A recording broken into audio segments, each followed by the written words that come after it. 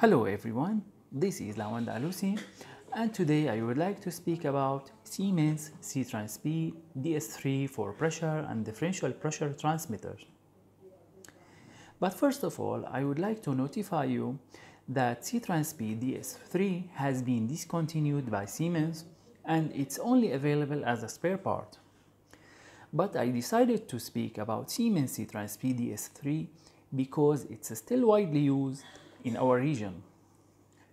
In this tutorial today, we will demonstrate the push button keys of SITRANS P transmitter and we will demonstrate all parameters inside SITRANS P and we will do a calibration accurately without any pressure source. So let's go. If you like this video, please subscribe to my channel. Now let's look at the functionality of push buttons and demonstrate each mode in SITRANS P transmitter. You can move from mode to mode using M button. You push the mode button and you will see number 2 in the lower left hand corner of the display. That means that we are in mode 2. To adjust this, apply pressure corresponding to lower range value to the transmitter and hold on up and down buttons for 2 seconds to set the lower range value to 4 mA output. Now we move to mode 3. Mode 3 is where you apply the upper range value of pressure that equal 20 mA, the full of scale. To adjust this, apply pressure corresponding to upper range value to the transmitter and hold on up and down buttons for 2 seconds to set the upper range value to 20 mA output, just like adjusting zero and span in other brands. The next mode is mode 4, which is damping, so you will note S in the lower right hand corner of the display. Damping is for how quickly the output will respond in response to an input pressure changes.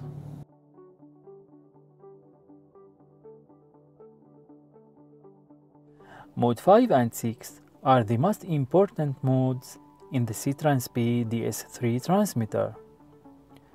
You can adjust lower range value, the start of scale, without application of pressure on the transmitter.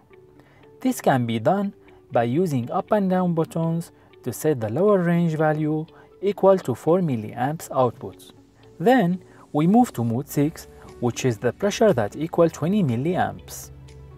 You can adjust upper range value, the full of scale, without application of pressure on the transmitter. This can be done by manipulating with up and down buttons to set the upper range value equal to 20 mA output.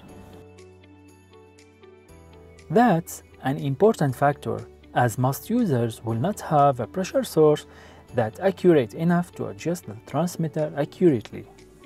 But there are some cases where you may use mode 2 and 3. For example, if you have a tank, you can set the start of scale of the level of an empty tank using mode 2. Then, you fill the tank to the upper range limit value and set full of scale using mode 3. And even you don't need to know what the pressure is. The next mode is mode 7. Mode 7 is used for zero adjustment. So I'm going to do a separated additional video in order to explain in detail of mode 7. We move to mode 8. In mode 8, you may use the SITRANS P transmitter itself as a current source. You hold both up and down buttons for 2 seconds, then the transmitter turns to becoming a current source and you may send force values like 4, 12, 20 milliamps through the loop and check the controller or HMI at the control room.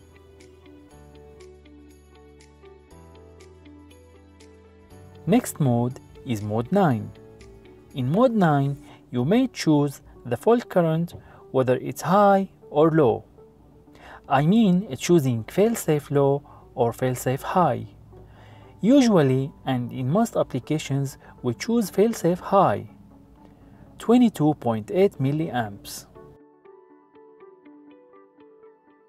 Next mode is mode 10. Mode 10 is for keypad disabling which means read-only transmitter by locking the push buttons. For example, L0 allows you to set the 0, LS allows you to set the span, L is lock up the transmitter and 0 to open it.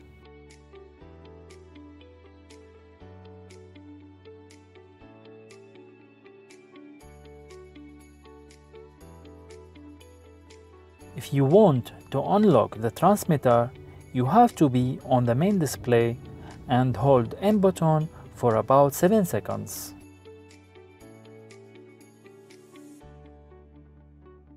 If you need or require a very secure locking, you have to use a handheld communicator and choose LL option.